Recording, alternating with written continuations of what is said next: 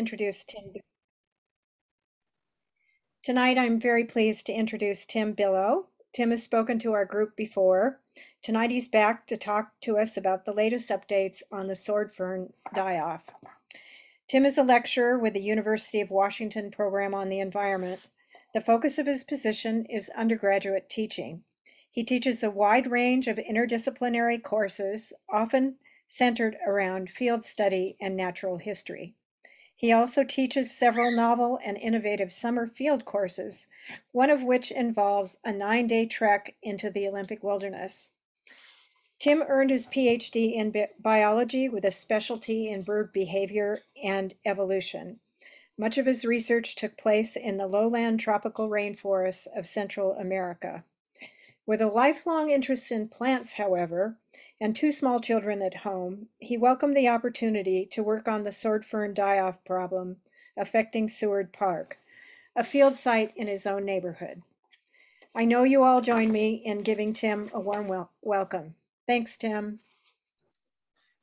Okay, thank you, Shelley. Um, can I hope everyone can hear my voice okay. Uh, I can't see everyone's faces out there, so uh, I think that's just the way this is set up. But if you do have questions or you can't hear me, uh, please feel free to, I don't know, voice your concern. I think there's a chat box set up and maybe a Q&A box set up as well for uh, questions and answers. And I think that Shelley will be monitoring that. Um, but at any rate, Shelley, thank you for the introduction. And thank you to the Washington Native Plant Society for inviting me to speak tonight.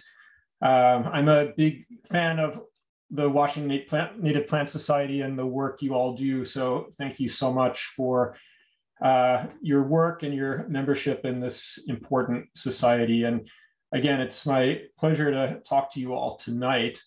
Um, and so without further ado, I do want to talk about the Puget Sound region sword fern die-off syndrome. Uh, that's what we're calling it now, I think. And uh, maybe we're still trying to come up with exactly what the right name for it should be. Uh, there's my email address on the first slide here. So if you do have questions that don't get answered tonight and you'd like to follow up with me, I'd welcome communication via email at a later date.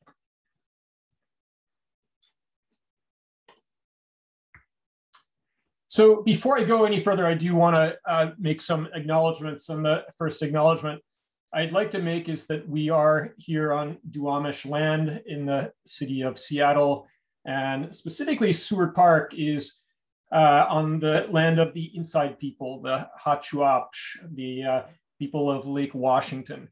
And I think it's not only important to recognize the Duwamish people and their sovereignty over this land, and to thank them for stewarding this land, landscape since time immemorial. But I think it's also important to think about the legacy of uh, ecosystem management uh, practiced by the Duwamish people, and in particular, uh, the people who were living in known village sites around Seward Park, today, what we call today Seward Park, Squabucksid in the uh, Lushootseed language.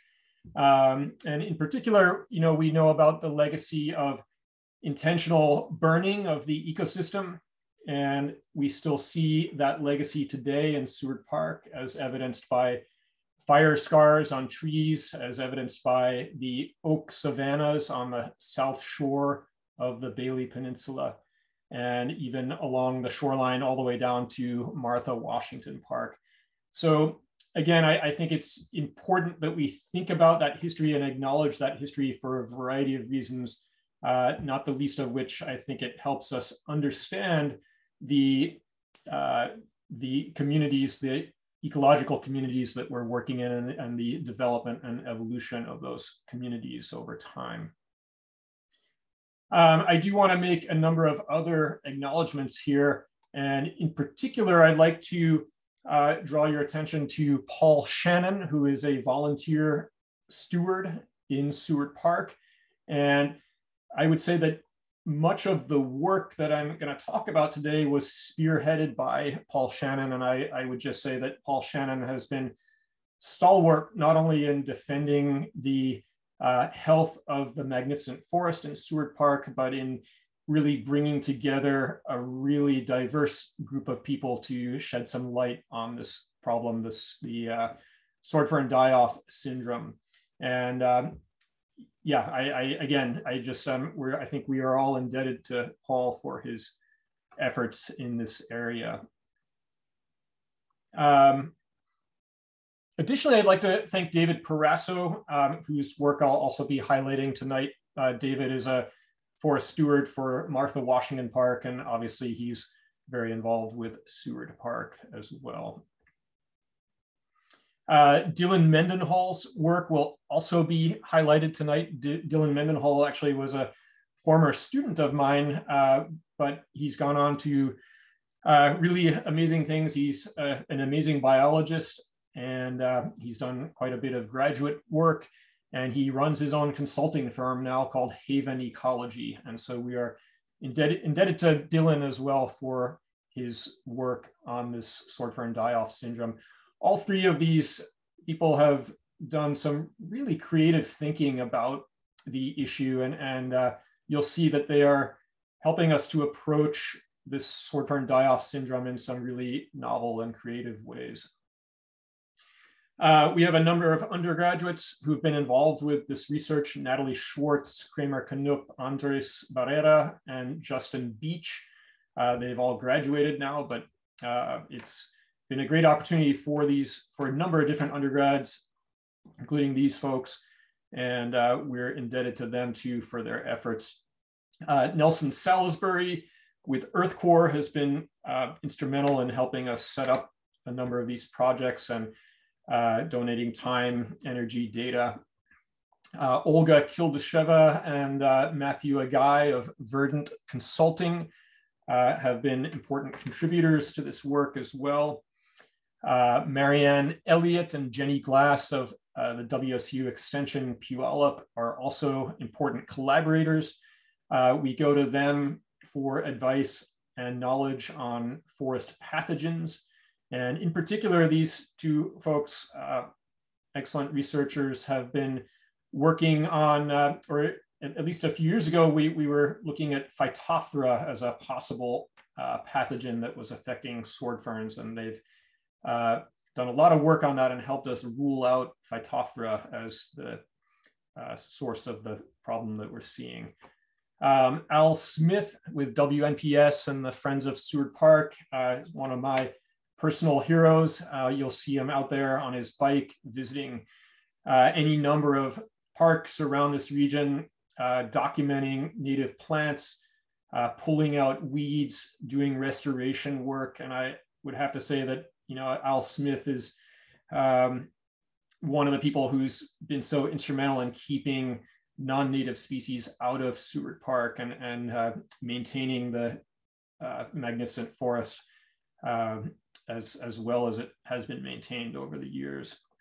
Uh, Sharon Baker with WNPS, Friends of Lincoln Park, has done some nice work helping us um, understand the phenology of healthy sword ferns Catherine Alexander uh, with Friends of Seward Park was the person who first noticed the sword fern die off and brought it to our attention. Um, and she's continued to be involved with this. She is a very keen naturalist. And uh, we've gotten grant funding from a group called 100 Women Who Care. You can see this giant check here, and I do mean that it was a physically giant check, but also a, a nice sum of money to help us out with some of our research expenses. Paul Talbert with the Friends of Seward Park has been instrumental in helping us uh, get some of the funding we need to do this. Lisa Ciecko, Michael Yadrick, Seattle Parks and Rec, and the Green Seattle Partnership, also doing important work behind the scenes. Uh, WNPS um, has given us funding. We thank you for that. Uh, John O'Leary with Suquamish has been working on this issue out on the on Bainbridge Island and the Kitsap Peninsula. Uh, Joey Manson at Seward Park Audubon has hosted our group uh, for meetings at Seward Park Audubon and generally provided support.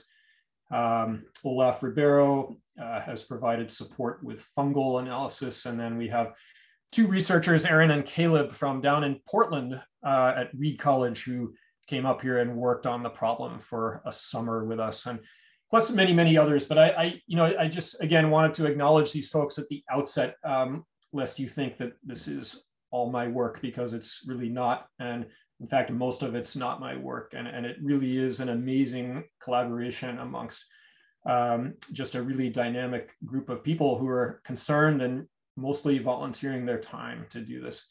So it gets pretty crazy when we're all in the park together. This is what it looks like when we head out uh, into the park to do our research. All right, well, that, that's a joke, but uh, um, that, that was Joe Biden's motorcade heading into Seward Park um, a few weeks ago. I know many of you saw that. And um, I just thought I'd throw that in there. It was a historic moment in the history of Seward Park. And, you know, it's actually not surprising that they chose Seward Park as the place to unveil this uh, Earth Day initiative for old growth forests. And it, it, really is a special place. If you haven't been there, um, I recommend going there. And it really is the lungs of uh, certainly our neighborhood.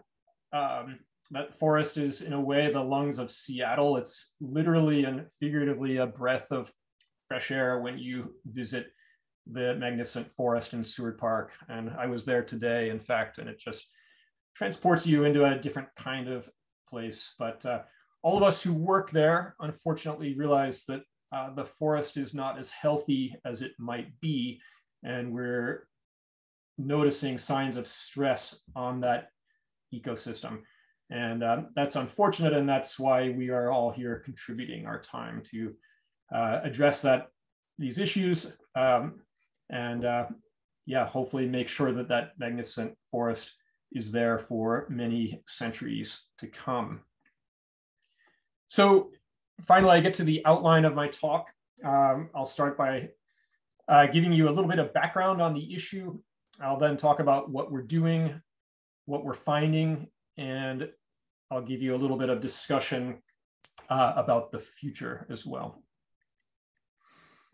And thank you all for being here, by the way. I know it's um, Thursday night. There's a lot of you here. I, I appreciate your time and, uh, and then your interest in this.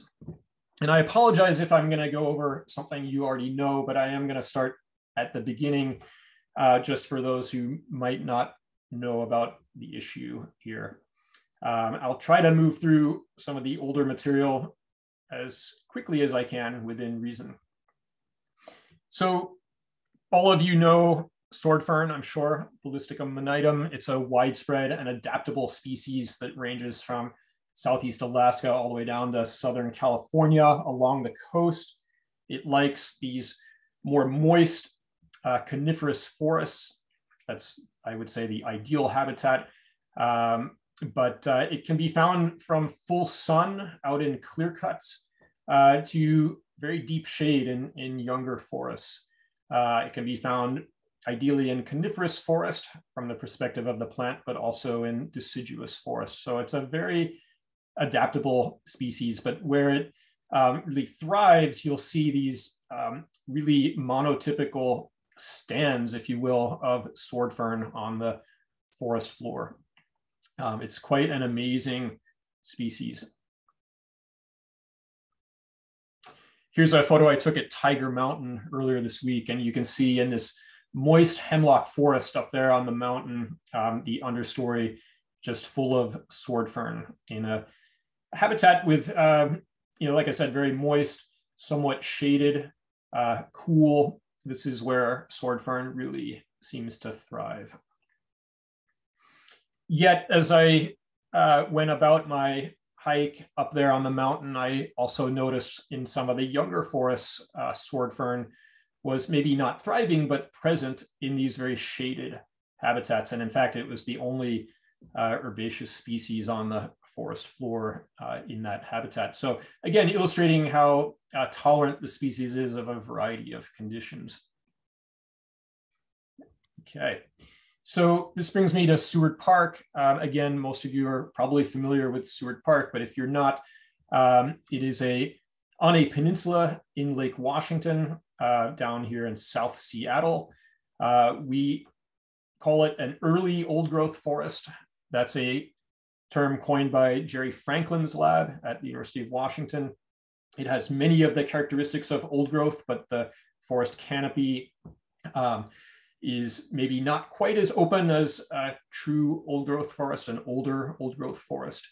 Um, and there's probably less coarse woody debris in Seward Park's forest than you would find in a uh, older old growth forest. So we call it early old growth.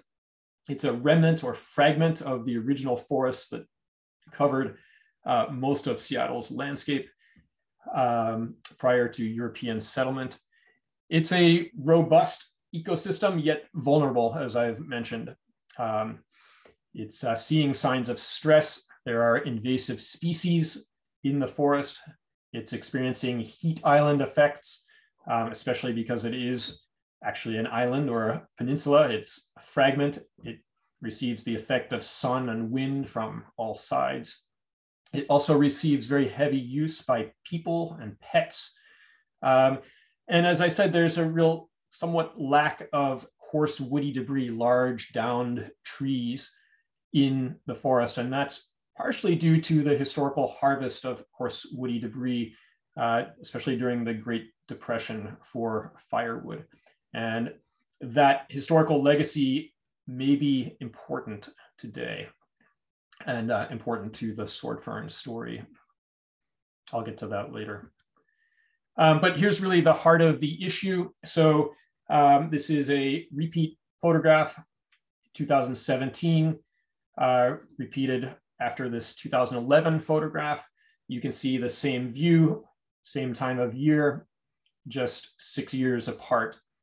And it was around uh, 2013 when Catherine Alexander first noticed the uh, ferns looking sick and starting to die. And within about two years, this lush understory that you see here in 2011, um, by about 2015, it had become a virtually barren understory with only a few remaining ferns uh, in that understory.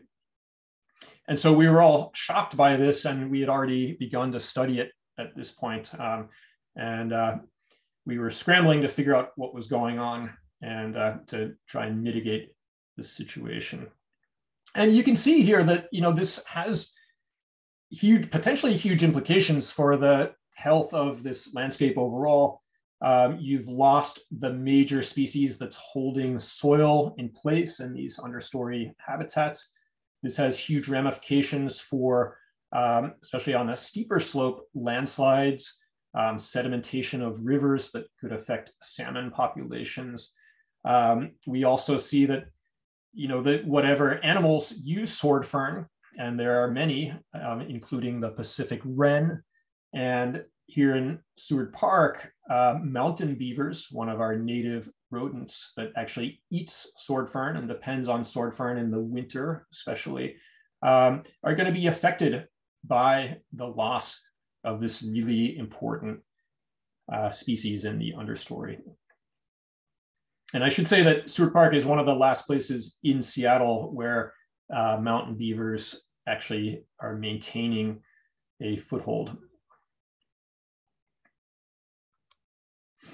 Um, one of the things we're doing is documenting uh, this sword fern die-off syndrome across the region. And this is a map from our iNaturalist page where all of you can log observations as you go about your explorations of this region.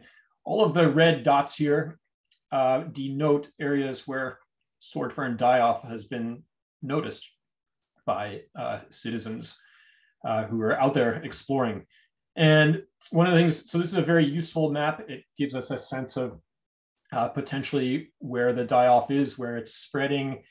Um, obviously there's some bias here in terms of where people like to hike, where our population centers are, uh, et cetera. But uh, it's not a it's not a uniform or random survey. Um, but uh, nevertheless, it gives us a starting point. And then what we try to do is go and check on these places that people have identified, and we try to characterize them or rate them according to the severity of the die-off. And the red dots on this map, uh, which is from a website set up by Paul Shannon, denote areas where we have seen fairly severe die-off, similar to what I just showed you in Seward Park. And you can see a site there out on a couple site on Bainbridge Island, site on the Kitsap Peninsula, and another site out in uh, either uh, Port Townsend or Quilcene. I'm not sure exactly which point that is there. Um, so, so we do try to follow up on those uh, sightings that uh, citizens log into iNaturalist. Um, so I already talked a little bit about what we're doing, but let's go a little further. Um, one of the things we're trying to do is describe the symptoms of the die-off, and we've really focused on doing that in Seward Park, which again is the kind of the first place, we call it the ground zero of this die-off syndrome. Uh, we've really tried to map and understand the spread of die-off within Seward Park and some other areas as well. We are monitoring the sword fern die-off in Seward Park with long-term plots, which are marked here on this map. Uh, we have several different plot studies going on. We're searching for a mechanism of the die-off using various techniques um, including study of ecophysiology, the physiology of the ferns, in particular how they respond to drought, uh, seasonal drought in the summer. And we're looking for modes of transmission, assuming this is caused by a pathogen. And again, we are looking throughout the region too, trying to figure out if there are any patterns of spread throughout the region. And finally, we've started doing some restoration and planting experiments. So in other words, experimental restoration to uh, see how we might ameliorate this problem, assuming we can't fully solve it, at least not at this moment. So here's what we're finding. Um, and I'm going to start with a description of the symptoms um, so that you all know what to look for when you're out there. This is work done by David Perasso uh, Kramer Canup, Dylan Mendenhall, and Sharon Baker. And uh, oh, I had a great picture of David Perasso doing this work, and I sadly forgot to put it in. Sorry, David. Um, but uh, anyway, I, will maybe I'll put it in there for the for the record if the slides get um, saved somewhere. So three stages of decline here. Um, we First stage we call early stage of decline, where isolated fronds show signs of stress. Um, affected fronds may display pale color similar to bleaching, uh, curling fronds and leaflets, brown rotting, general loss of vigor. Um, by the middle stage of decline, so this might be a year or two in, uh, most fronds display the characteristics of stress noted in early stages. And the fronds usually appear to wilt, and many of them become extremely dry. And by the late stages of decline, we see all of the fronds dying and most of them breaking off and decomposing such that you're left with this stump that we call a crown uh, that may retain, uh, sorry, which may be, remain intact for several years uh, without regenerating, or maybe it will never regenerate. Uh, so we have a lot of areas throughout Seward Park now that contain these uh, sword fern crowns or stumps. It's like a sword fern graveyard. It's quite depressing, to be honest. Um, so to take a maybe a closer look at this, here's some nice photos by Dylan Mendenhall uh, with his firm uh, Haven Ecology. Uh, this is an example of a symptomatic fern uh, showing evidence of decline over multiple years. Um, so again, look at the browning of the fronds. And this particular fern that he's photographed here uh, did not produce new, uh, new fronds in 2020. And that actually is the ultimate sign of the die-off is whether it produces a new cohort of fronds in any given year. I'll come back to that, but uh, again, browning of the fronds over a period of a year or two and eventually ceasing to produce new fronds. Here's some more photos by Dylan showing some of these uh, various phenotypes, um, which can be shown uh, on individual ferns, sometimes all of the phenotypes together, sometimes one or a couple of them. So again, browning of the leaves, discoloration of the leaves, uh, twisting of the rachis, uh, crinkling of the leaves, and again, uh, part D here, figure D, showing the browning of a leaf compared to a healthy leaf on the right. Um, I should have said a frond, but uh, I think you know what I mean. Another thing that Dylan has uh, documented here is the ceasing of growth. So a, a new frond sprouting and then uh, essentially aborting growth in the middle of the growth season. Okay, and then part F showing uh, the browning of the tips of the frond. Okay, so these are all characteristics that can be shown together on a single fern or individually, depending. Okay. To the point where you ultimately end up with this, the browning and crinkling of all of the fronds and the eventual death of the fern. This, this photo is taken on Mercer Island in Upper Luther Burbank Park. And then finally, this is what we see in Seward Park. I'll circle all of the dead ferns in the foreground here of this photo. And um, like I said, it, it's a really a fern graveyard, and we see large areas of Seward Park exhibiting this uh, pattern at this point.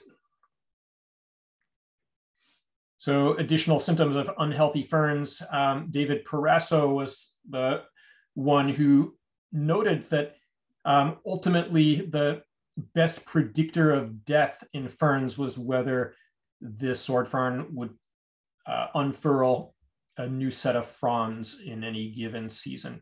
And what he began to notice after monitoring individual ferns for um, sometimes periods of several years was that when they were about to die, their fronds would not unfurl. Um, they would, in other words, be what he called stillborn fronds. And that ultimately is the best predictor of death. And you can feel the fronds developing in the middle of winter.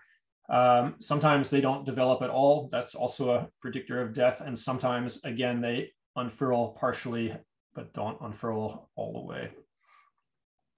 So this is a lot of detail, but I, I actually find it fascinating, and I hope you do too. Uh, we've learned a lot about sword ferns through this work, and I um, they're just amazing organisms. So I, am going to keep walking you through some more photos here um, just for all of our education. I, I really think this is incredible. This is another oh, no. sorry. much bigger one. um, sorry about that. Apparently there is a recording in the background. So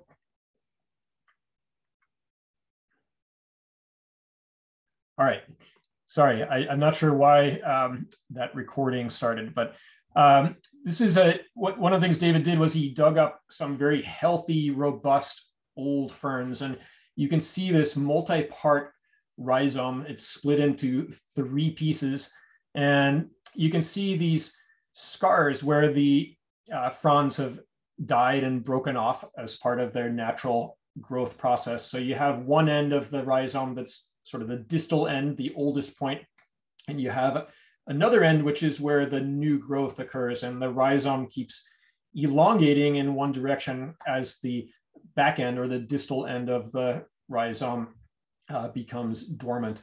And you can again see these, um, the, these leaf scars essentially where the fronds have broken off and you can count backwards and estimate the age of these rhizomes.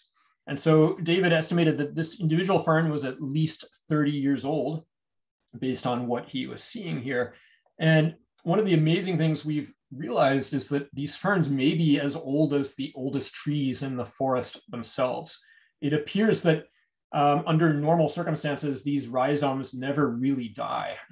Um, they just keep elongating on one end and sort of uh, becoming dormant on the distal end. So it's amazing to think of these as sort of old growth species, an old growth um, plant along with the old growth trees. um, so David sliced through some healthy uh, rhizomes here to show you the emerging crosiers. These are the fiddleheads about to unfurl. Um, you can see the blue arrow pointing to a healthy crosier. Uh, early in the season, this would be probably January, February. Uh, this crosier is about to emerge or unfurl. Okay. Um, and this is what it, the fiddlehead looks like when you slice through it, cross-section crosier. Okay, so this is normal behavior for healthy sword ferns. Um, also, you'll notice sori on the underside of the leaflets of the fronds. Um, these sori come in two rows on the uh, on the new fronds, and then the sori actually drop off or rub off as the uh, leaflets get or the, the fronds get older. And the ferns typically retain their leaves or their fronds for uh, two to three years before they uh, drop off. Okay. Um, and you can often estimate the age of these fronds by uh, sori on the underside and also where they occur within this whorl uh, within the, the structure of the sword fern. So let's take a look at unhealthy sword ferns now. This is Dylan's uh, great photography here. Again, Dylan is with Haven Ecology. And uh, you can see on the left a healthy sword fern rhizome and on the right uh, an unhealthy rhizome where the croziers simply aren't uh, developing in a normal way. Um, another set of photos by Dylan, again, healthy on the left, unhealthy on the right.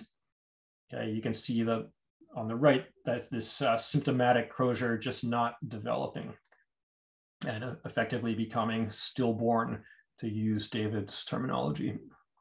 Okay, so this is the ultimate sign of uh, the die-off and death of the fern.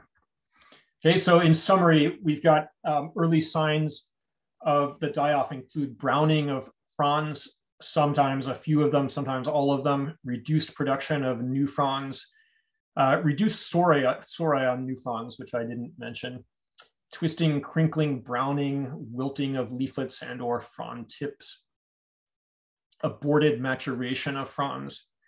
But ultimately, we need to look for the failure to produce crosiers and fiddleheads.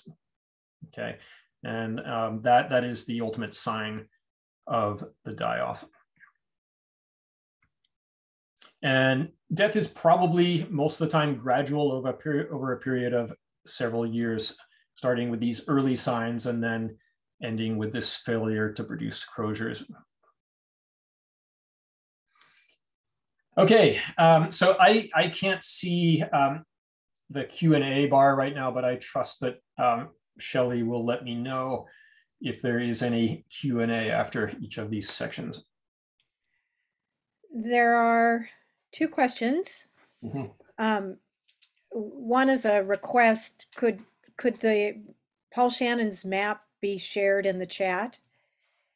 Um, I, I think there was a link there to get to Um, yes, mapping. that, that's right. Um, we, we can do that. Can we maybe do that at the end? I think that would be good.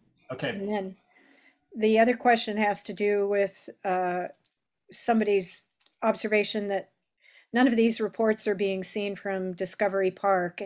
Um, is it just not being observed there, or is is the park are the parks so different that? yeah, well, that's, that's the million dollar question for sure. Um, and we don't really know why it is so patchy. Um, I mean, there are soil differences uh, probably between Discovery and Seward. Um, we are starting to look uh, for control sites, actually um, trying to understand what, you know, looking for parks that are comparable to Seward in terms of the age of the forest um, and the elevation Um, and obviously in the same region, we've been looking a little bit in Schmitz Park as a comparison site for Seward, but yeah, um, it's it's really interesting. I, I don't know why um, no one's noticed this issue in Discovery, or we'll, we'll just assume that it doesn't exist in Discovery. Um, so it's it's hard to say. We'll, we'll talk a little bit later about um, the potential for drought stress here, and um, you know, Discovery, of course, is closer to Puget Sound, and, and there could be the uh, cooling or mitigating uh, effect of, of the Puget Sound on air temperature in the summer um, that, that might play a role, especially because we, we do suspect that, um, and I'm getting ahead of myself, that the, if there is a pathogen involved, it probably affects water uptake um, in the fern. But anyway, that, that's great question. Uh, I don't have a great answer, Yeah. but um, yeah. Let's let's keep moving forward now. Um, we'll make sure you get these links later on. Um, so mapping the spread. Um, I don't want to spend too much time on this, but again, in the first you know couple of years, we noticed this problem. Uh, this was 2016. We we tried to map the perimeter of what we saw in Seward Park, um, and so the lighter shaded area is what we saw in 2016. Uh, by 2017, the area had doubled from 5.1 acres to 10.3 acres. Um, so this problem was spreading fast and uh, it was spreading so fast, in fact, that we kind of gave up uh, monitoring it in this way. Um, and, and we, we noticed issues cropping up in various parts of the park and such that we couldn't really put a good line around it either. Um, so this actually leads me to uh, our next map 2021. We've sort of taken a different approach where we're putting GPS points on every dead fern that we can find um, just to get a sense of where uh, new centers of die-off might be. And uh, I'll just give you a sense of where that is. So the black uh, the black and yellow squares give you a sense of um, where this is on the peninsula. And so we've seen a lot of spread now from the initial area within the yellow uh, over into other parts of the Bailey Peninsula, the north end, for example. Um, I don't think any of these new sites are quite as severe as what we've seen within that yellow square, but nevertheless, it's cause for concern. Um, so this is a rough methodology here, but it gives us, again, a sense of the lay of the land. This is what it looks like in the field. And in 2021, we uh, noticed a new patch of die-off invading one of the healthier stands of sword ferns that we have in Seward Park. This is off of the Windfall Trail. I mean, look at this beautiful dense stand of sword fern. But again, you know, this patch of die-off just slowly uh, moving in here. And, and I should say that these this is the way it started initially in Seward Park, a small area um, that gradually expanded outward in a radial way from an initial kind of central point. In, in again, in much the way that we would expect for a disease, a pathogen of some sort. Um, and, this this is one of the, the sort of questions that's been bothering us. Um, you know, is it a pathogen or is it drought or some environmental factor that's that's causing this um, abiotic factor? But um, it, it's certainly given the way it seems to spread, it behaves like a pathogen. So, all right. So um, let's talk about monitoring. And, and so I've given you a little insight into the mapping, which is a form of monitoring. Um, this is work I've done with my students. Um, I'm also noting here that Nelson Salisbury and Stuart Wexler um, and Kramer Canup has actually helped them as well. They've also done some monitoring with uh, older vegetation plots that were established in 2004, I believe, in Seward Park. Uh, their results are basically the same as what I'm about to show you. So in the interest of time, I'm going to show you just the results from uh, my work with my students. And uh, in 2015, we set up we set up 20 plots uh, within this within and around this zone of die-off that we had identified in the early years of this research. Uh, these were randomly placed plots within that uh, general vicinity. They're three meters by three meters in size. They're permanent, and we've tried to survey them every years. Every year, sorry, we missed a few years in there during the pandemic, but 2015, 16, 17, 18, and 21. Okay, so I'll show you the uh, results from that. Um, this graph omits 2021 just because we counted the ferns a little differently in 2021, but you can see from 2015 to 2016, um, well, in, in 2015, only a small percentage of the ferns in these plots were entirely dead. And we, we had a uh, pretty conservative measure of being dead. And to be dead, there had to be absolutely no green showing on the fern at all. So in 2015, we, we had, you know, maybe maybe 4%, three or 4% of the ferns in our plots were dead. 120 ferns was the sample size. By 2016, over 30% of the ferns were completely dead. And by 2018, over 50% of that initial 120 were completely dead.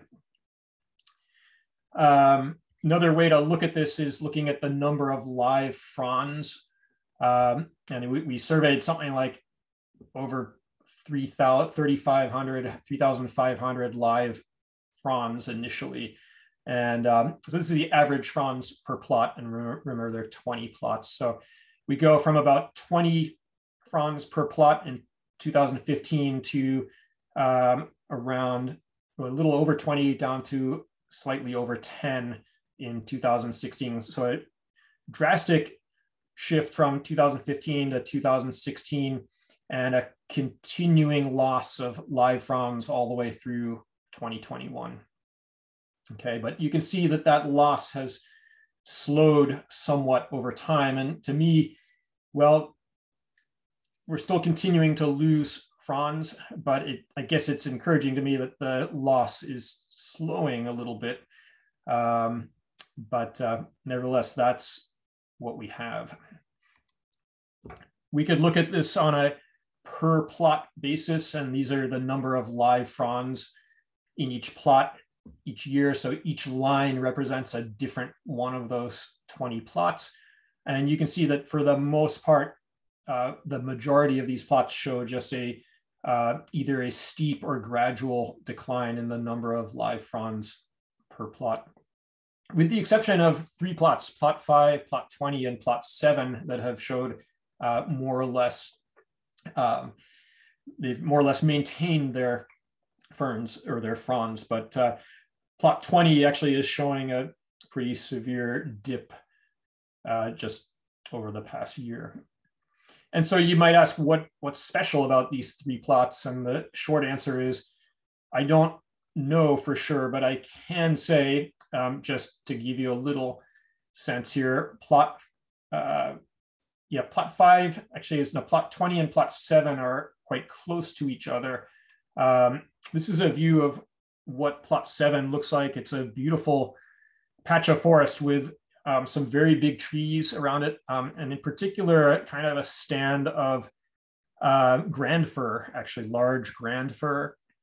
There's a tree fall gap there. There's been um, several large trees that have fallen as well.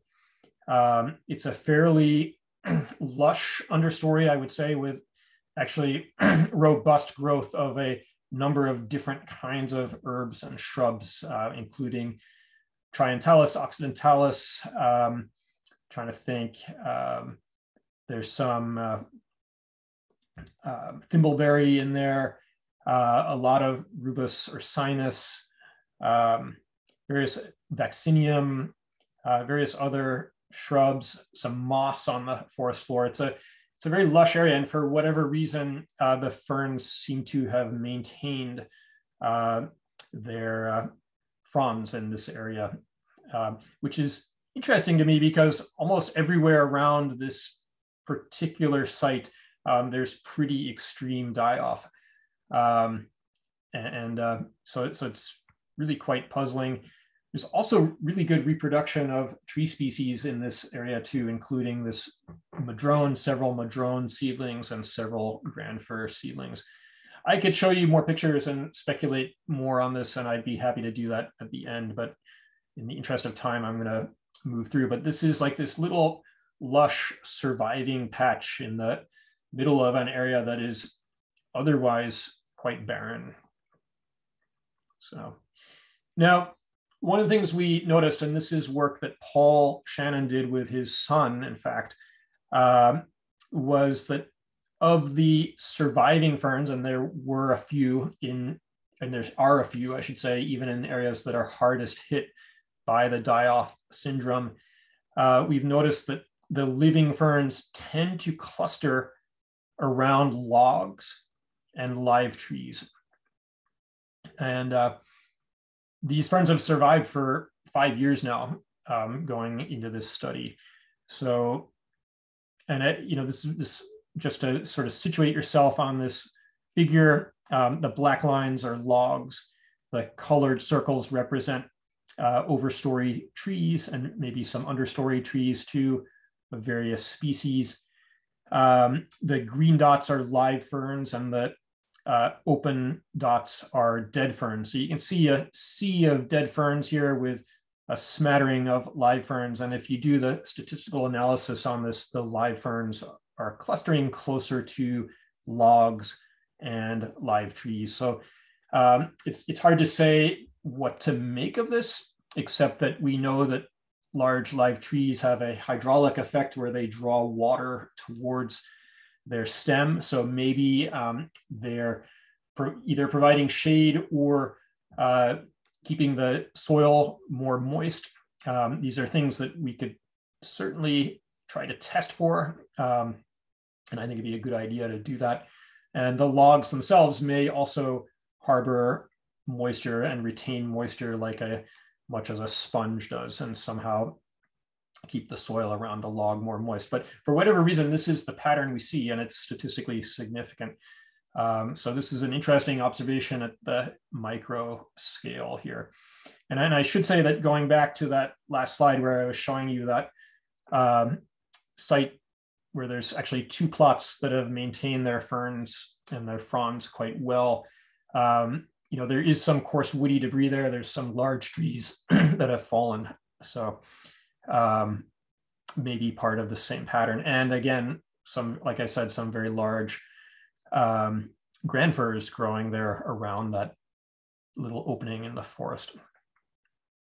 So in summary, most of our plots have declined severely, 50 to 100% over the study period. So literally there are some plots that have lost all of their ferns during this study period and all of their live fronds. Again, uh, Nelson's work has shown the same thing um, in a slightly different way, but uh, I would say it appears that the die-off is now slowing. So these areas that showed severe loss initially are now, I would say, slowing in their loss. And I'll come back to this um, a little bit later. Um, the die-off is spreading in a patchy pattern, though, to other areas of the park. Um, but so far, I would argue not as severe as what we saw at this initial site, which we referred to as ground zero, the original die-off site. Um, and again, survival is highest near large trees or large logs. so again, I brought up the idea that maybe water is at play here. So this is kind of the the big fundamental question we're trying to answer now is what's causing the die-off? And um, it's very tempting to say that drought is the cause. Um, and so I'd like to explore that a little bit more right now. Oh, no. Um, so it's funny, there's an old recording embedded within this, um, this presentation. So I apologize that it keeps kicking in there. But uh, mechanisms of death, drought versus pathogen. And we've had a lot of great people working on this, including Dylan Mendenhall, uh, Verdant LLC, um, and Kramer Canup helping them, funded by Seattle Parks and Rec, Natalie Schwartz, funded by uh, WNPS, and other volunteer UW students. Um, so let's take a look at this. So drought versus pathogen, and that's really the, I'd say the fundamental question we're asking right now in terms of mechanisms of die-off. And our initial observations, it's important to think climatologically, the last 10 years in Seattle are not characterized by drought, if you look at the data. Okay. Um, last 10 years in Seattle are not characterized by abnormal average temperatures, and I'm stressing average there. Um, and just to back up, you know, we've seen some years that have been have seen less than normal precipitation, but a lot of years with more than normal precipitation too within the last 10 years. Um, average temperatures have been about average the last 10 years, but, and this is important, I think we all know that it's, we're becoming more likely to break high temperature records in the summer. And last summer was a, obviously a glaring example of this. Um, so I think we're seeing higher high temperatures.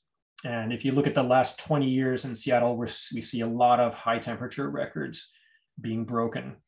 Um, and virtually no low temperature records being broken that I've found in the data. So, um, and this may be important, is uh, hotter hot temperatures in the summer. And there's a lot of sources for these kind of data. Uh, SeattleWeatherBlog.com is one website um, where a lot of these data are compiled. We, we actually worked with a UW researcher out of um, Cliff Mass's lab to really get a better sense of some of these climatological data. Ah. Okay, so um, looking at 2018, which is when we did this study, um, you can see the percent soil moisture in Seward Park.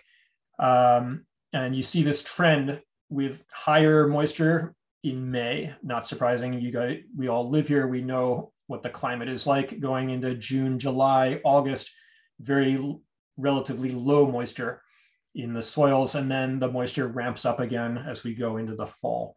So that's a pretty standard pattern. 2018 was very normal in this regard. This time, and ah. this is okay.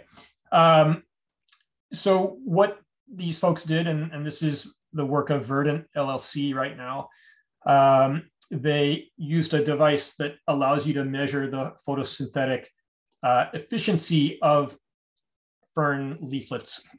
Okay, and you go back to the same ferns uh, month after month for the entire year. In fact, and I, I, think this we actually ran this for a little more than a year um, to look at this measure called FV over FM. Again, it's a measure of photosynthetic efficiency. And you can see that in May, the values are quite high. We've actually got two sets of plots here. One are my the 20 plots that I set up. These are what we call the monitor, monitoring plots. And then we have an additional set of plots, uh, which theoretically we're serving as a control. Um, and these plots maybe are uh, in healthier parts of the park. So at any rate, two sets of plots. Uh, we're doing these measures every month through the entire year. And you can see, again, that the photosynthetic efficiency seems to track the same pattern as the moisture pattern that you see um, in a normal year, and this is 2018. So high efficiency going into the early summer, and then that efficiency drops off going into August, the driest part of the year, and then ramps back up again as the rains return. And this is what we'd expect. Um, and this, these efficiencies around about 80% are uh, quite normal for sword fern.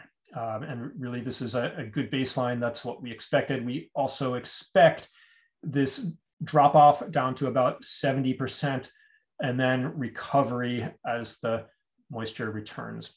The dotted red line represents what we consider to be sort of the cutoff for like a very uh, healthy or normal photosynthetic efficiency. And, and again, we expect it to go below that cutoff in the driest months. And again, we see the return even in these plots that are, you know, theoretically the, the black line labeled monitoring plots. These are plots that are theoretically more stressed by the, um, the pathogen. But again, the, these are average values, so we're not looking at individual ferns here, and this is the key. Um, we needed to do this again, paying more attention to individual ferns, looking specifically at ferns that were symptomatic of the die-off and ferns that were asymptomatic.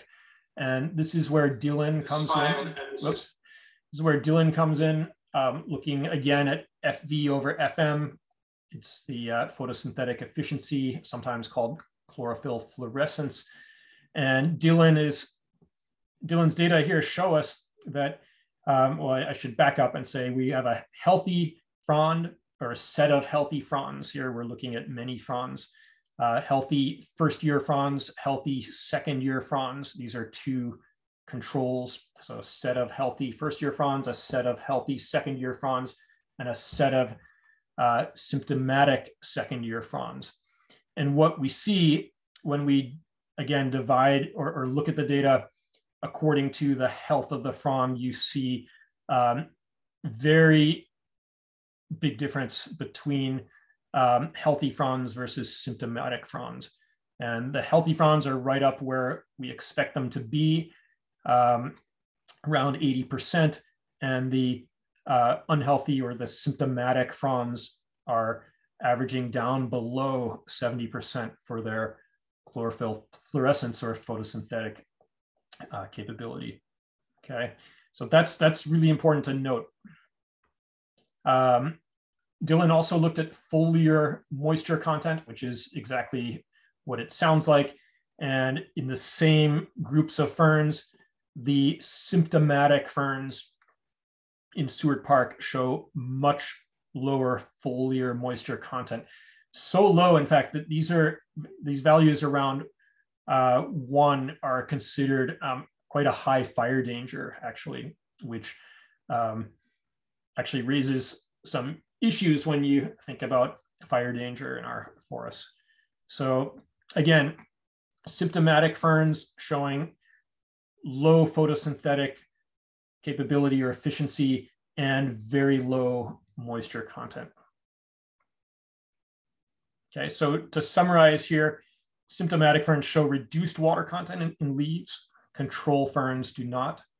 Symptomatic ferns show greatly reduced photosynthetic capability. Control ferns do not. Um, healthy ferns seem to be less affected by drought. Uh, and this is the seasonal drought, and then they recover. That's what Verdant's data show us, Verdant LLC. That's uh, Matthew Aghai and Olga Kildisheva.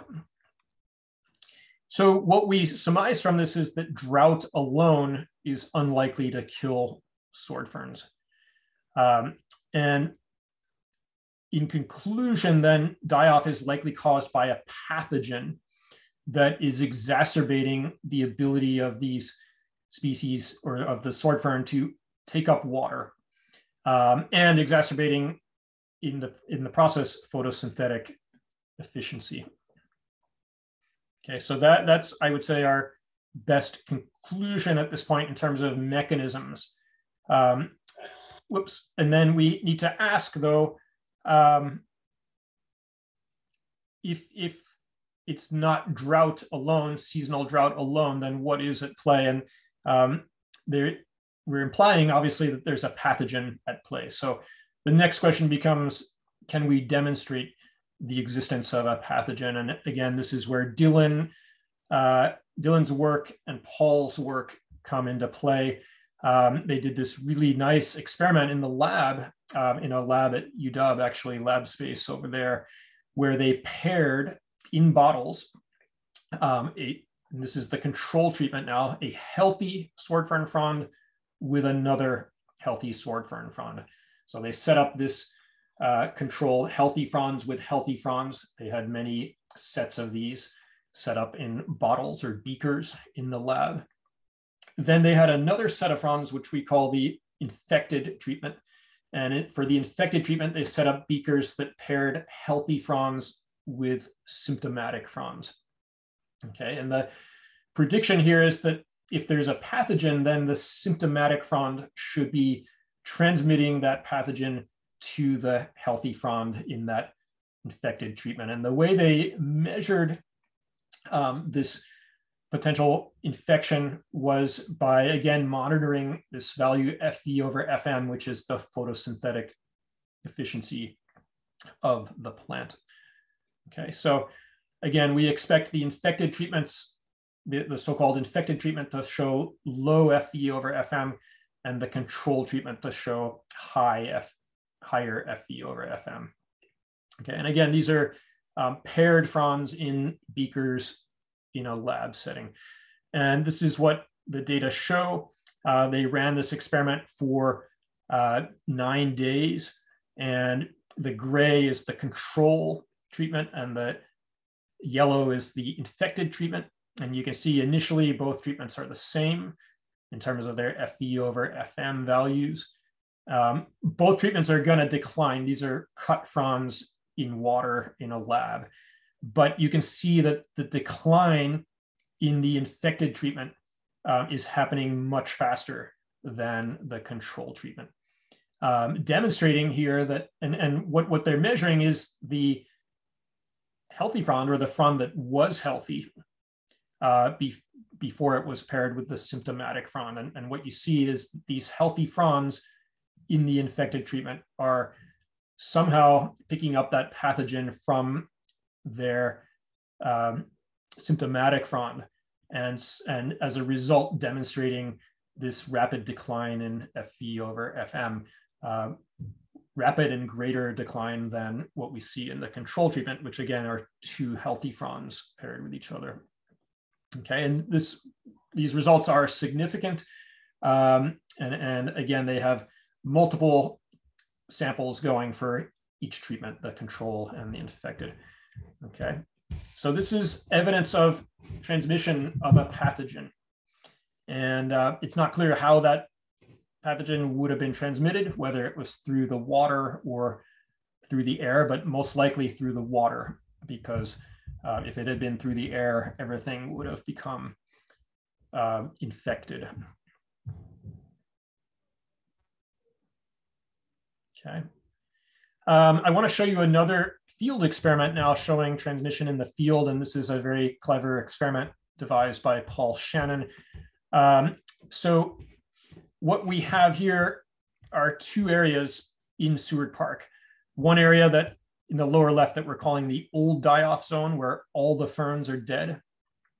The hypothesis here is that there's the host plants are gone basically, and that the pathogen is likely also to be absent at this point. The, in other words, the uh, pathogen has run its course, the die-off has run its course here. Now we have another area of the park where die-off is active, where ferns, healthy ferns are actively dying. Okay, the hypothesis there is the pathogen is present and active. And these arrows represent the direction of spread of the pathogen outward from this central area. Okay. And what we're going to do here, and what we have done, in fact, is uh, we are doing, we've done experimental plantings in each of these areas. So in the old die-off zone, we've planted 12 rows, or sorry, uh, 24 plants in two rows. These are ferns. And in the active die-off zone, we have a row of uh, 12 more plants. Okay, these are nursery, I believe nursery grown plants, okay? Um, and so they're, they're planted out here in the old die-off zone and the active die-off zone. And the prediction then is that in the old die-off zone, these ferns will remain healthy because the um, pathogen has already run its course. And in the uh, active die-off zone, these plants will uh, show symptoms of die-off because the pathogen is active here. Okay. So they'll end up symptomatic. And in fact, that's exactly what we've shown after 50 months of running this experiment. In the active die-off zone, all of the plants um, are showing reduced numbers of fronds per fern. In fact, um, these numbers would be even lower, except that uh, Paul just reported uh, recovery in one of the ferns. Um, and in the old die-off zone, uh, these plants are healthy and maintaining their fronds. Okay. Um, so again, demonstrating transmission or active transmission happening in the active die-off zone. And, and encouragingly, absence of the pathogen in the old die-off zone, which suggests to us that we can begin more active restoration in the old die-off zone. Here's what this actually looks like in the field. Um, I took this photo today. This is the old die-off zone with two rows of planted ferns all thriving here. Okay, and again, this was an area that had almost 100% mortality um, in 2015. So summary of evidence for the pathogen. I'm almost done here with the talk, um, so thanks for bearing with me. Um, we've got symptomatic ferns.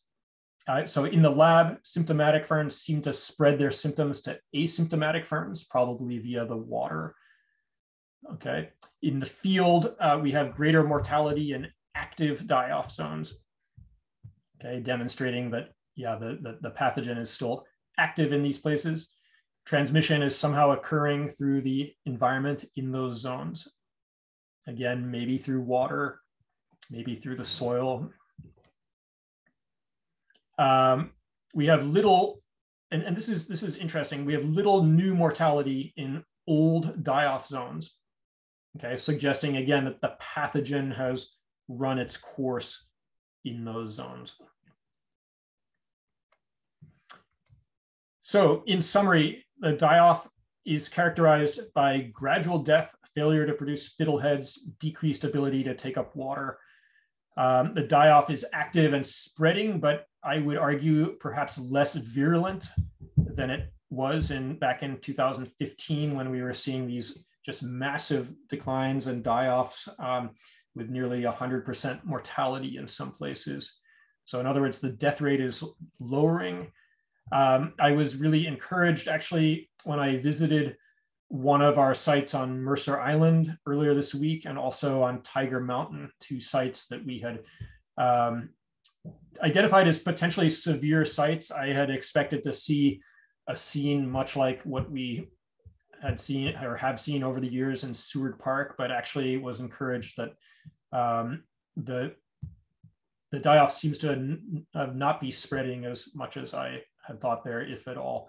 We're not actually collecting data, uh, formal data in these places. We're doing more photo monitoring just because we don't have the research permission for these places, but um, it's encouraging. Um, and again, Seward Park North, north end of the peninsula, uh, spreading, but I would argue not to the extent uh, with the 100% mortality we've seen in other parts of the park. Um, die-off is evident throughout the region, but again, few sites as severe as Seward Park. Exceptions to this, however, uh, Bainbridge Island, and I, I, haven't been out there in a couple of years. I need to go resurvey our site in Fort Ward, um, uh, just across from the Island Islandwood um, Environmental Education Center. Uh, we have a site there that looks a lot like Seward Park with huge amounts of mortality and some sites on the Kitsap Peninsula and Quilcene that are also quite severe that we need to get out and resurvey. Um, the mechanism of die-off is probably a pathogen um, causing damage to the vascular system of these plants, uh, which again is exacerbated by summer seasonal drought and heat. Okay, so that's our best guess for the mechanism right now. Um, so next steps, we're doing restoration with all tools available. Um, we have these so-called Lazarus ferns that um, David Perasso cultivated from one fern that survived in one of these hardest hit areas. It was a fern that we were guessing is probably resistant to the pathogen. Um, and so we have these all these baby Lazarus ferns that we're planting out in an experimental way through active uh, die-off areas along with control ferns that come from nurseries to see if this so-called Lazarus fern, these propagules from the Lazarus fern are going to provide um, sort of immunity to this ongoing uh, die-off. And so that that's active. That experiment is ongoing. Just started uh, earlier this year, and we'll see how that plays out. Uh, we're also doing restoration, and this is a Green Seattle partnership with other species as well. And I'm showing you a baby vaccinium here planted in the midst of all these dead sword ferns.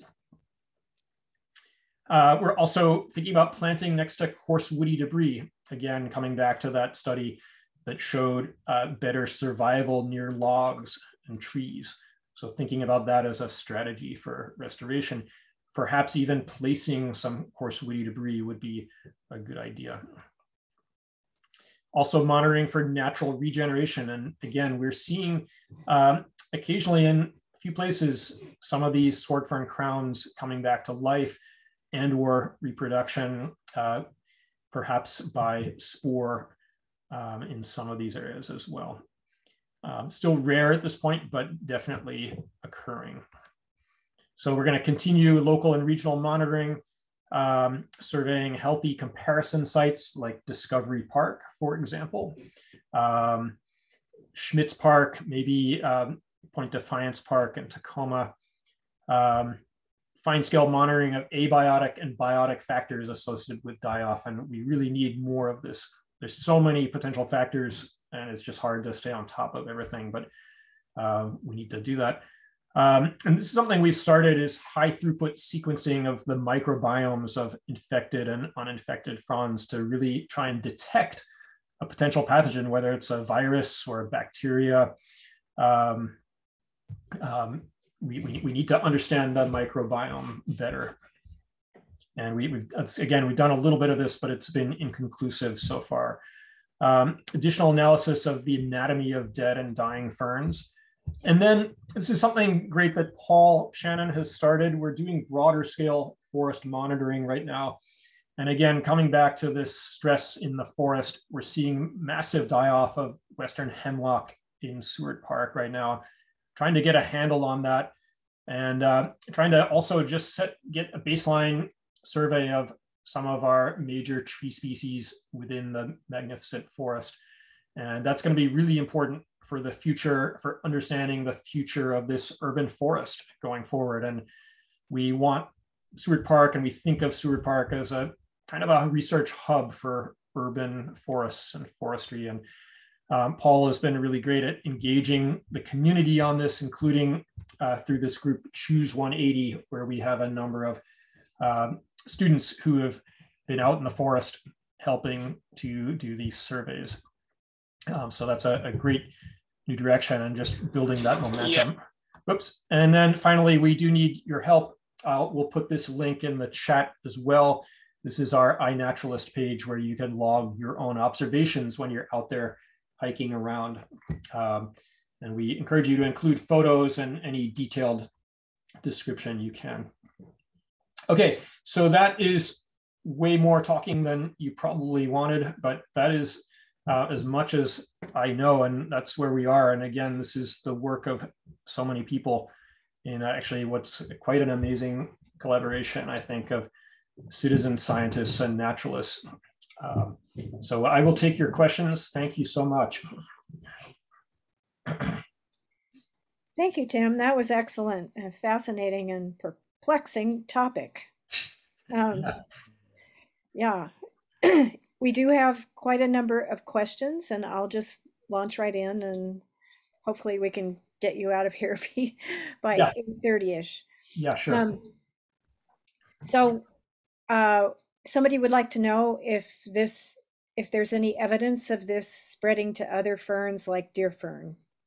Um, I would say no, um, not that I know of, and that's quite an interesting question. And, and again, I think evidence that it's not likely to be drought as the sole cause of this, because if it were drought, um, you would expect to see drought stress in other ferns and, and other species around the forest. And uh, I mean, honestly, hemlock, Western hemlock, may be sensitive to drought. Um, it, it is one of the one of the tree species that needs more water, um, maybe, and is certainly less tolerant of these hot summer temperatures.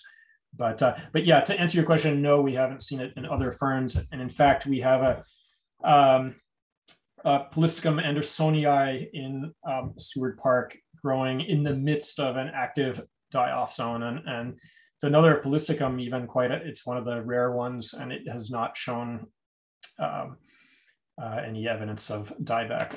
So that that was uh, individual plant that Dylan actually found uh, when he was working out there. Oh wow, that's interesting. Oh. Um, this person wants to know whether there's big leaf maple decline in Seward Park. Um, that is a great question, and I would, to my to my knowledge and observation, I would say no.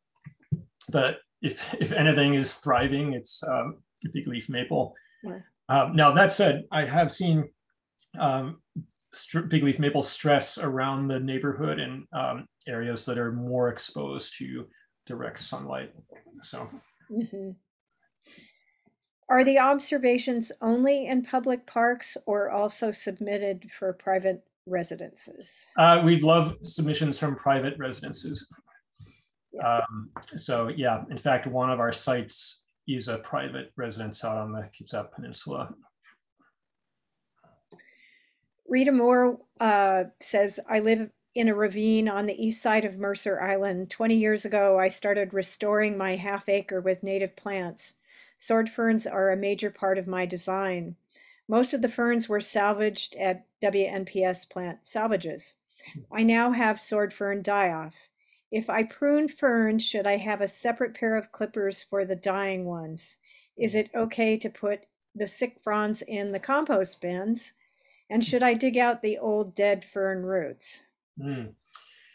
Um, those are all great questions, and I would say to the first question about clipping fronds, I would definitely say to clean your clippers, and that's something we try to be careful about as well as cleaning our shoes. I mean, who knows? I, I mean, in Seward Park, like everyone and his brother is hiking out there, which is great, and 99% of those people are not cleaning their shoes. But um, yeah, um, I, I'd say be careful. Um, and I, I don't know um, if, if you want to.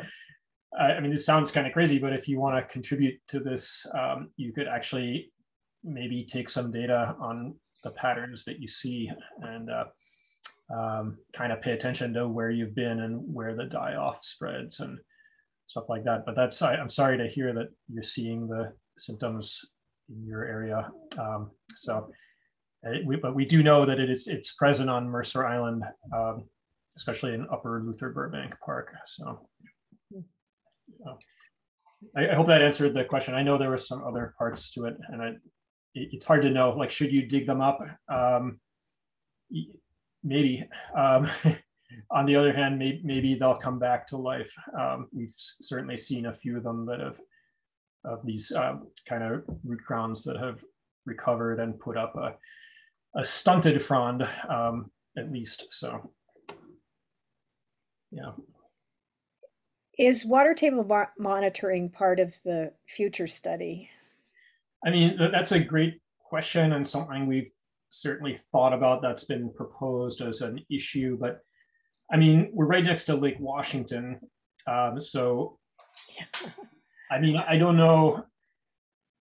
I, I guess maybe I don't know enough about water tables to whether that lens of water table fluctuates significantly on the peninsula, but it's easy to see where the water table is and some of our, you know, the lake level anyway. And, uh, you know, some of our die off is happening pretty close to the lake at this point.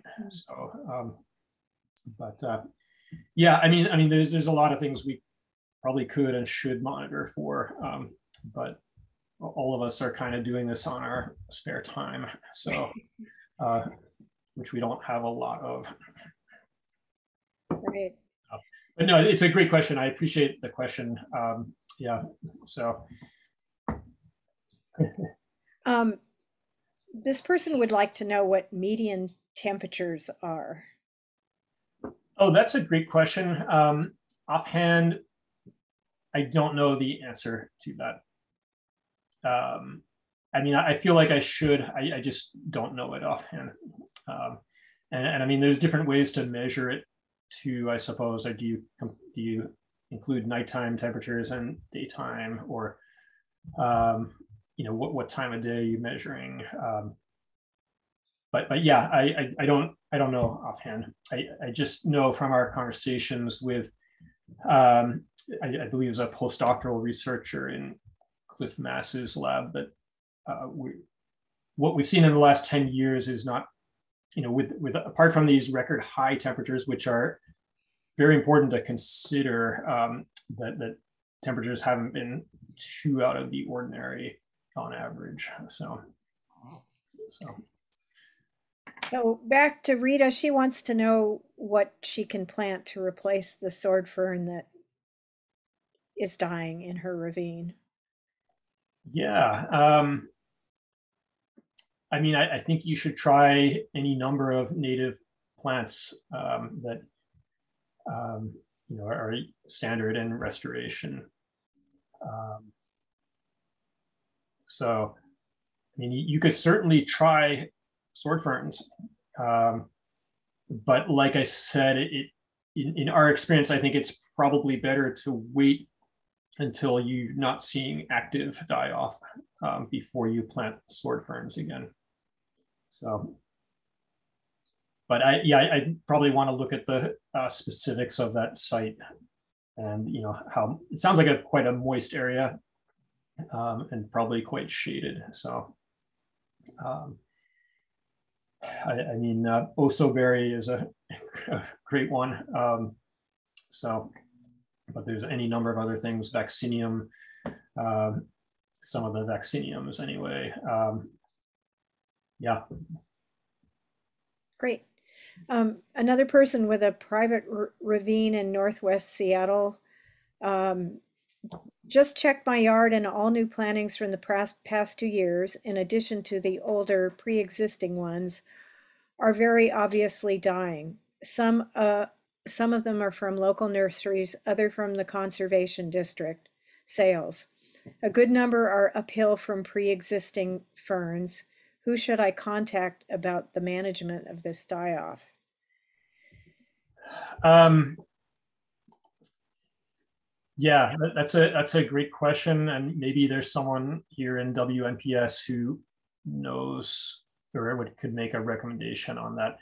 I mean, I would say the very least, it, it maybe is concerning if you see a pattern with ferns coming out of one particular nursery, and that that was something we were actually very concerned about initially. Was that we thought we had an issue with Phytophthora, and we were trying to and and we, we know that there's some nurseries in the area that have had issues with that and potentially have released um, the Phytophthora, a Phytophthora pathogen out into wild environments around here. Um, so now, now, I mean, if it's so called the you know the die-off syndrome, then yeah, I doubt that a nursery would be responsible for that. Um, but um,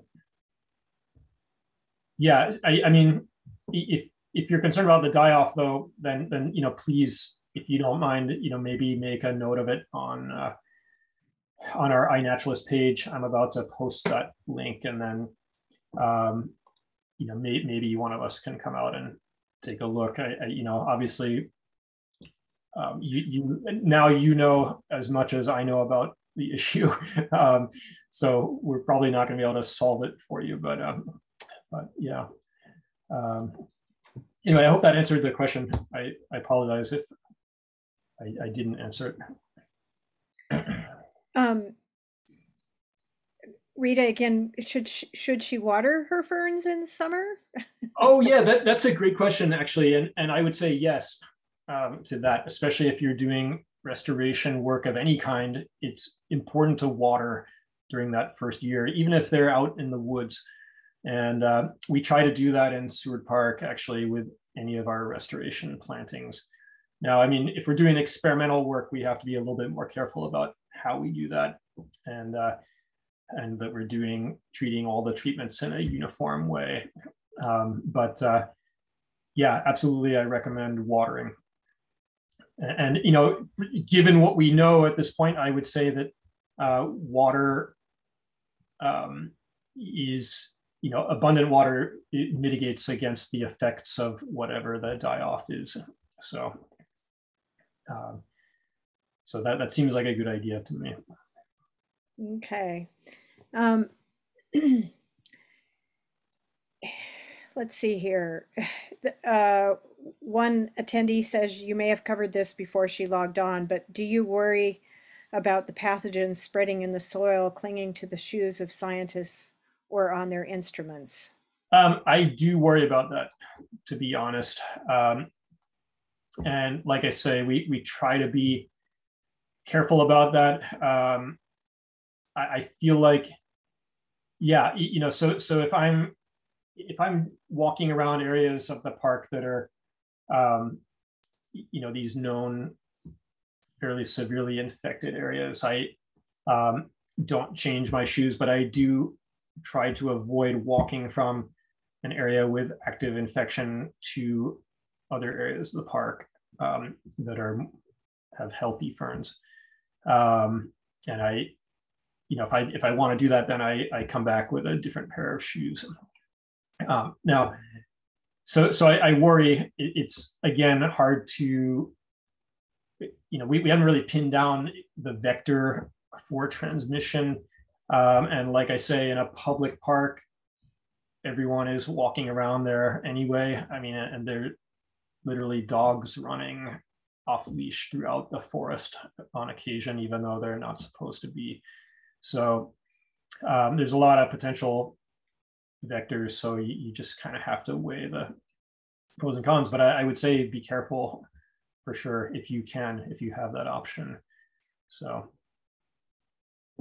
yeah. Okay. Um, the next person wants to know whether you've ever worked with Dr. Sharon Doty and whether there are known pathogens for other ferns.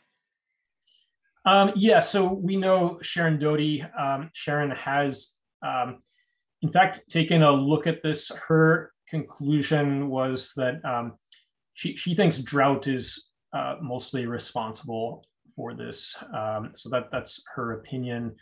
Um, she tried to look at this a little bit in her lab using slightly different techniques. And, and to the best of our knowledge, she was she she tried to replicate some of the transmission work, but she didn't run the experiment for long enough, and she did some uh, did some things a little differently. Um, so yeah, so so we we do know uh, Sharon, we know her, her work, um, and uh, yeah, um, she did not have any great suggestions to my knowledge. Um, but I the, the plan was so so she she's quite well known for uh, these ways of I think inoculating against pathogens, and so that was the idea was that we would work with her to um, somehow isolate a pathogen and then somehow inoculate uh, or design. Um, and I, and I forget exactly how she does it. To be honest, it sounds like the person asking the question may know more about what she does. Um, but uh, but yeah, it, I, she she looked at it for a little bit, and and uh, I, as far as I know, she's not interested in continuing to work on it. But uh, we'd we'd welcome her uh, collaboration if she wanted to get involved again. So Um, thank you. Next question is, uh, how do you keep mountain beaver, beavers from eating your new fern plantings? You haven't indicated that they do, but um, That's that's a great question. Um, yeah, you know, as far as I know, they haven't been eating our new fern plantings, which is interesting. But they're definitely prevalent in some of these areas, not all of them. Um, they are they're absent on Mercer Island, as far as I know. But but yeah, they're fairly common in in in uh, Seward Park. Um, they definitely eat the mature ferns, and uh, you know they'll just snip off fronds um, especially in winter, and they'll, they'll, pile them up outside their burrows. Um, but yeah, so I guess we haven't really had an issue with the young ferns. Um, and I, I, don't know if Paul Shannon is on this call, but if um, I, I, should have invited Paul and Dylan or any of the other folks to weigh in if I'm uh, off base on any of these answers. But uh, yeah, as far as I know, we haven't had the issue. Um, I, I, am concerned about the burrows though a little bit. There, there, are parts of Seward Park where it's like a minefield of burrows, and, uh, um, and, and interesting enough, when they burrow underneath a fern, that leaves the uh, um, the rhizome sort of just hanging out there. Um, and so we were concerned actually that the burrows might in fact um, contribute to drought stress. Now, I don't necessarily think that's a big factor because you know the ferns and the mountain beavers have co-evolved. Um, but uh, um, it, it, I'm glad you brought it up because mountain beavers are uh, and interactions with ferns are something we looked at for a while, and we actually built some exclosures to try and keep mountain beavers out of some of the areas, but we, we didn't actually see any effect of the beavers on the ferns uh, when we excluded them. There was still die off within the exclosures. So. Um, next question, is it possible that sword ferns are dependent on soil mycorrhizae and the problem is with something that is attacking that. Near a tree, the trees may be influencing subsoil components. Mm-hmm. Uh, question mark. Yeah, that, that's something we've thought about for sure. Um, I personally don't have the skills to uh, cultivate mycorrhizae or, or, even detect different species of mycorrhizae, but but that is something we have thought about, and, and you're absolutely right, especially with survival close to trees, there may be a mycorrhizal network there that um, somehow the fern is tapping into, or simply that, again, the mycorrhizae are drawing water into that area. Um, I, I, should know the answer as to whether sword ferns have specific mycorrhizae that they associate with. Um, I don't know the answer to that offhand, but um, it def definitely something we've thought about and, and need to look at and need someone with expertise to help us. Mm.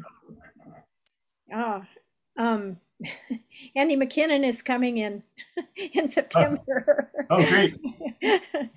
um, there's a few more questions here. I know we said we'd let you go by 8:30. Do you, uh, if I wrap it up in the in five minutes, is that okay? Yeah. No, this is this is fine. I, I, you know, I'm actually very happy to answer questions the fact that this has gone on long is my own fault for creating such a long presentation. So uh, I always get great ideas from people asking great questions. So uh, this is helpful to our whole team. So I appreciate this and I, am happy to hang out as long as people want to hang out. Perhaps I could add uh, uh, something uh, uh, uh, quickly.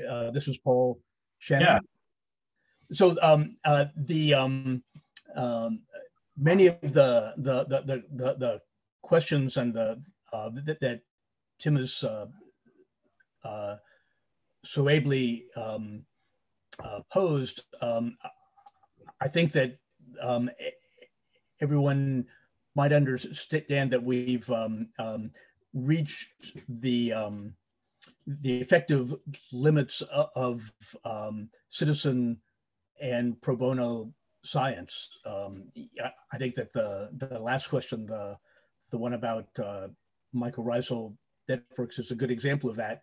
Um, that um, it uh, takes uh, sustained sustained sustained skill, and so the um, uh, Friends of Seward Park has uh, set aside ten thousand dollars from book sales in order to make a film uh, to um, get the word out on the good work that could be done at at uh, Seward as as sort of a, a miner's canary of um, problems in forest health, and we ho hope to through that film um, uh, raise the funds so, that these hard and important and interesting questions uh, can be pursued by, by, by um, pro professionals who are paid to do so.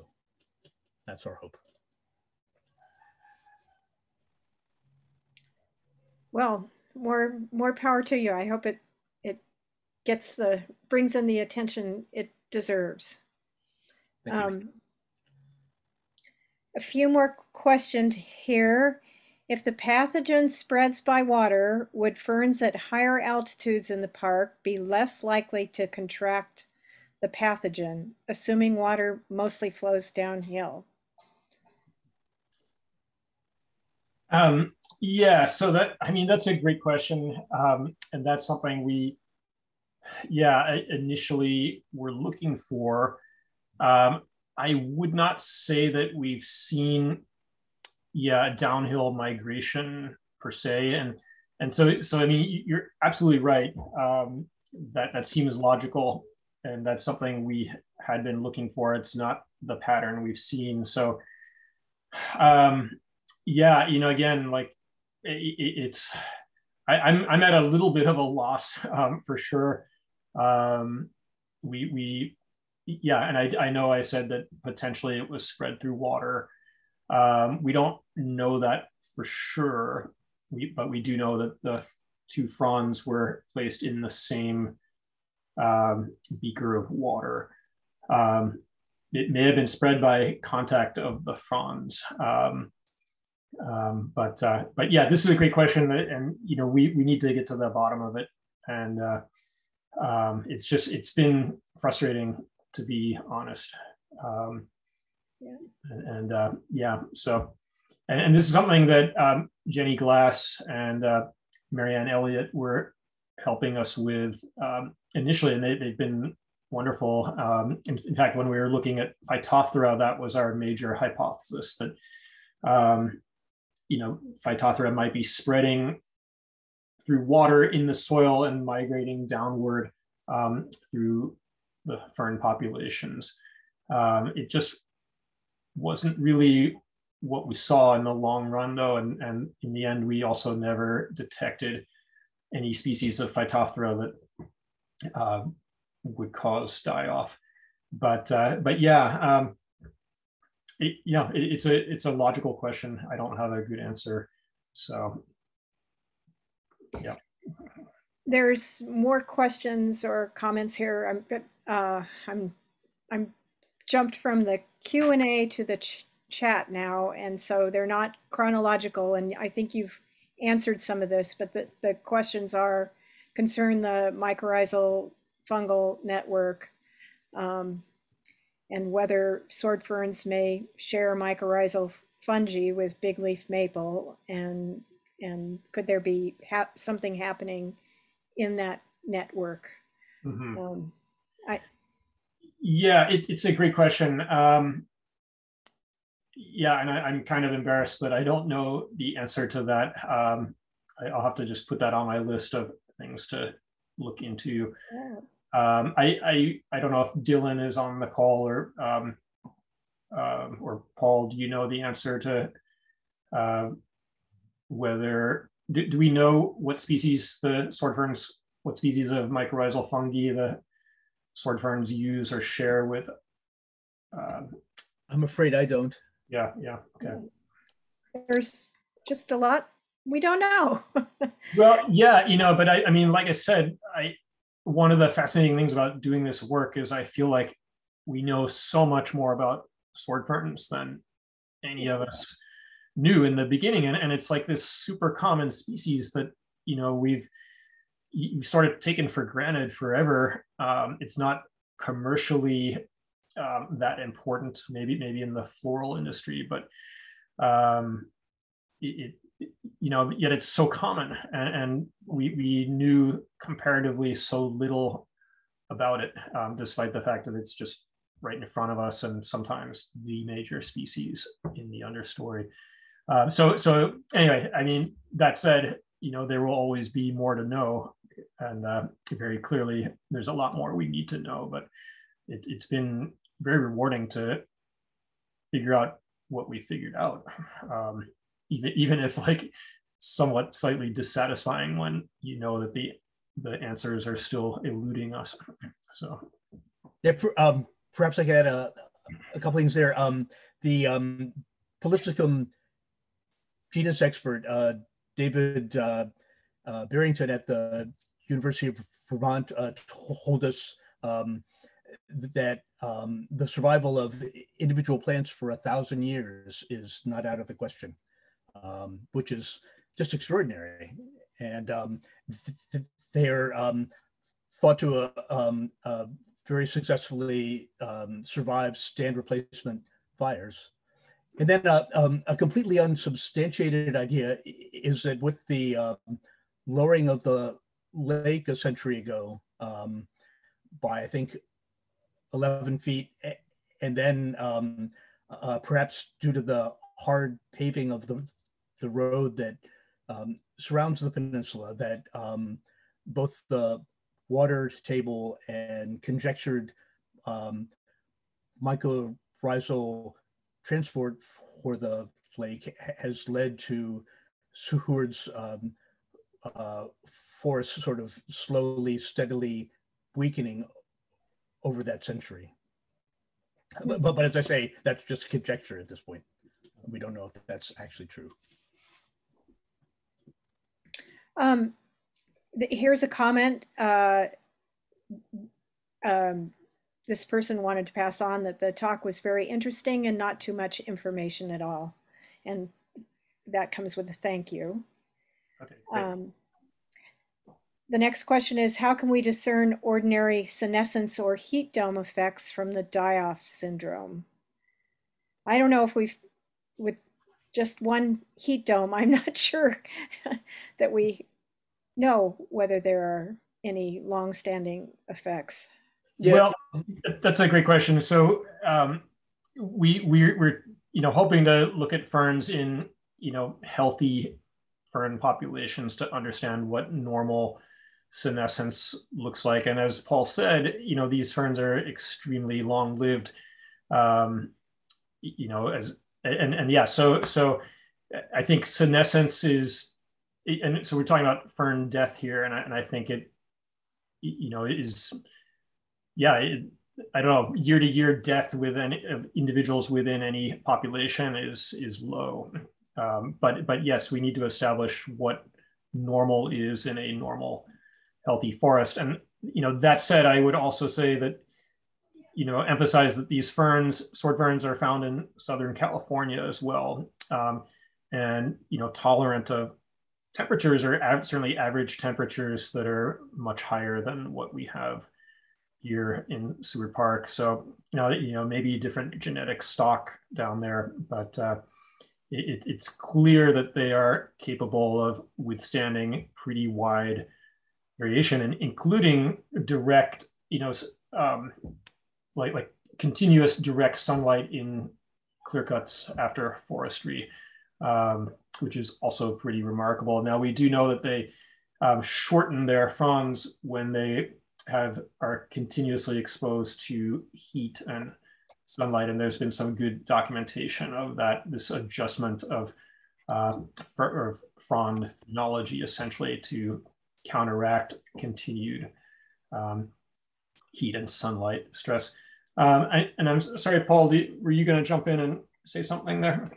Oh yeah, there's um, uh, a paper from uh, uh, 2015 um, by Joanna Pittermann at USC, and it's called "Not Dead Yet," and she studied the um, um, uh, um, loss of fronds, but then the complete recovery of uh, ferns after the, I think, uh, four or five years of the very severe um, southern and central California drought. Um, yeah. Not Dead Yet is the title of the paper. Yeah. And there's some really interesting work going on down in California. Um, I forget the name of that group, but I think it might be savetheredwoods.org. Mm. And uh, they, they're doing some of their own fern studies down there associated with very extreme drought, um, you know, much more severe than anything we have or have had up here. Um, and, um, I, and I believe they have an insect pathogen or have had an identified insect pathogen down there that's exacerbated the issue. But but again, like like ferns are not they're not going extinct there, and and uh, um, yeah, they seem very resilient and able to adapt in in uh, in different ways, whether that's going dormant for some period of time and coming back or modifying their growth structure. Um, but uh, but it, it, has been interesting to look at the research coming out of California on a you know separate uh, sword fern stress event, let's say. Um, another person here is wondering whether to dig up or leave the dead roots. Did we? It. Um, um yeah, I, I I would say it's probably okay to leave them as far as we know that. Um, I mean, what we've shown so far is that if there's transmission happening, it seems to be in the the living or or uh, stressed symptomatic fronds, and uh, probably not in the root itself. Um, and if, if anything, uh, it seems like occasionally the roots recover when the pathogen has presumably run its course. So, um, yeah, I, I, guess I yeah I wouldn't advocate going around digging up all the rhizomes at this point. That sounds a little bit extreme potentially. Um, may, maybe I'll change my tune with more evidence at a later date. So, yeah, Paul Talbert is typing in some interesting uh, tidbits of information here into the chat about uh, vesicular arbuscular mycorrhizae. Um, so there you go. Um, and just so everyone's aware, I did put those links into the chat. I uh, I think I sent them to the wrong group. um, I sent them to the hosts at first, but now it's posted oh. to everyone. So there's two links there. One is the iNaturalist site where you can log your observations Oh my gosh, I, I posted the iNaturalist thing in twice. Um, let me get that link to, I'm going to post these again, and I'm going to also get that link to Paul Shannon's map, which is right here. So you're probably looking at my um, as we do this. So here's that link to Paul Shannon's map, and I'll get the iNaturalist link again just in case. Go ahead, Shelley. Oh, there's uh, several people thanking you for the interesting presentation and that they're going to be keeping their eyes peeled for new um, die-off areas um, while hiking. Um, one person wants to know if you, you've looked into the problem of problem being a die-off of a defensive organism that would normally keep an endemic pathogen in, in check. Oh yeah. Um, well, that, that's an interesting idea. Um, so the question is, yeah, what would that be? Um, but yeah, no, no, I guess we haven't really looked into that. Um, I mean, you know, certainly. So I, I started my talk by acknowledging the fact that you know fire has been a part of this ecosystem uh, both large stand replacing fires and smaller fires that uh, were intentionally set by the Duwamish people. And um, this is not a species, obviously, but but uh, um, you know, I, my guess is that periodic fires keep pathogens in check, and uh, you know, certainly worth thinking about um, is uh, whether we we ought to somehow bring fire back to this ecosystem. And uh, I mean, that's probably not going to happen in an urban park, but uh, uh, it's certainly interesting to think about and how one would do that and what the quote natural fire regime is.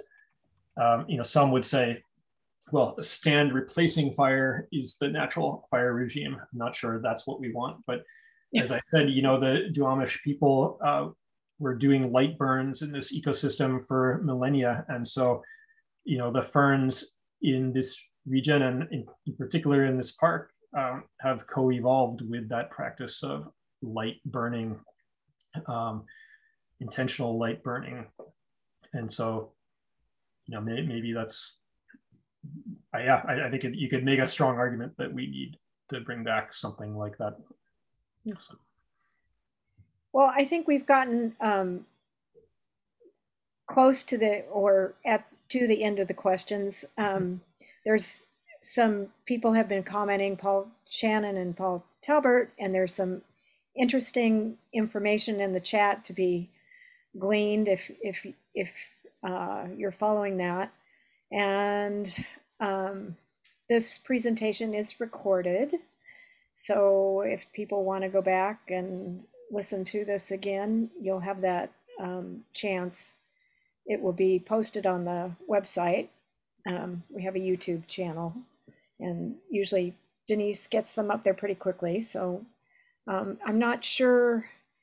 I I think Denise keeps a record of the chat, and if anybody really needs to see the what's in the chat, um, we might be able to ask her uh, to to send that out to me or someone else, and I could relay the information. Denise has been very busy lately, so we don't want to ask too much of her right now. But um, Yeah, well, maybe we can get the iNaturalist link and perhaps the link to that map into one of your next, I don't know, group emails or something. Um, sure, and you know, I, I don't know if it sounds like you don't have more talks coming up.